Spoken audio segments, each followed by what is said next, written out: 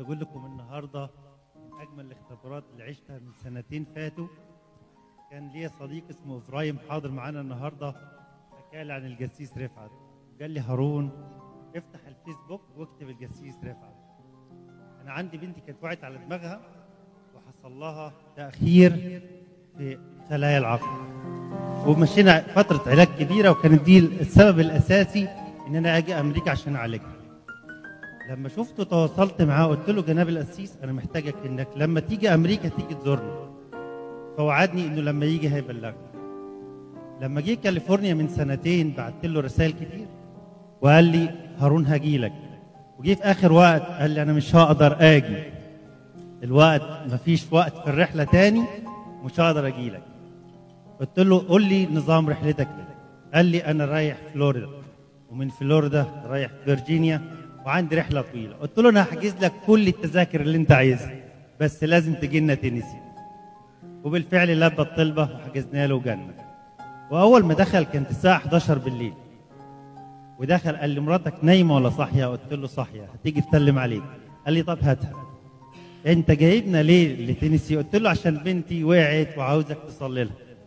فصلى معانا وبعد ما صلى قال لي إيريني هتكون سبب بركة لبيتك لكن أنا مش جاي لك علشان إيريني أنا جاي لك عشان أقول لك السنة الجاية لما أجي لك هلاقي ولد في البيت هنا عندك.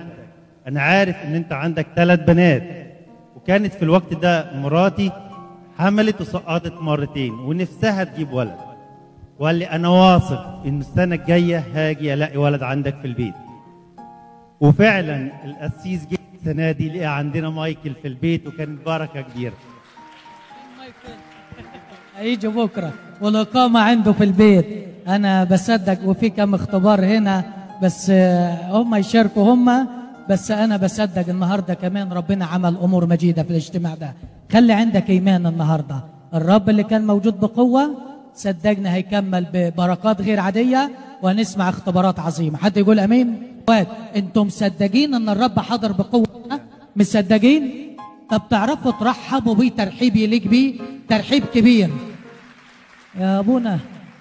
في الطلبات دي آه هنصلي الطلبات. حاضر. بس بس نفسي أقول حاجة. عارف عندنا في الكنيسة تلاقي مسيحيين ومسلمين. ولما نقول نحيي الرب اللي موجود في وسطينا. تلاقي المسلمين يزغرط والمسيحيين يزغرطوا.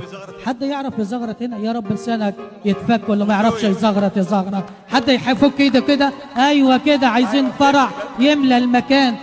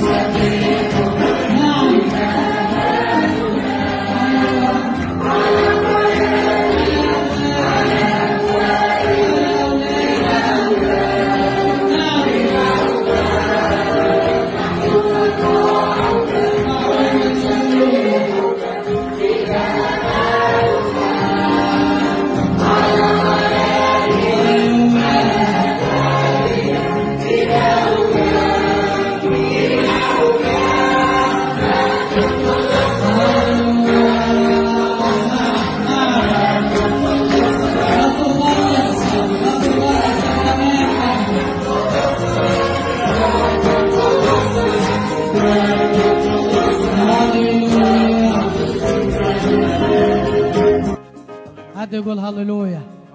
حد يقول هللويا. حد يفك ايده كمان مرة ولسانه يحييه. الإله العظيم القدير. أنا بصدق إن الغد ينتظرنا ببركات غير عادية. بكرة بكرة. يعني لو ينفع وتقدر كمان تصوم وادعي الناس زي ما قال جناب الجسيس وبكرة ربنا هيدينا ليلة ختامية تاريخية. ويديك سوء لقلبك وسوء لقلبك. والغد ينتظرنا ببركة خاصة. حد يقول أمين؟ شغل تليفونك وقول للناس وبكرة يبقى يوم ختامي عظيم. أمين. شكرا القسيس مجدا للرب.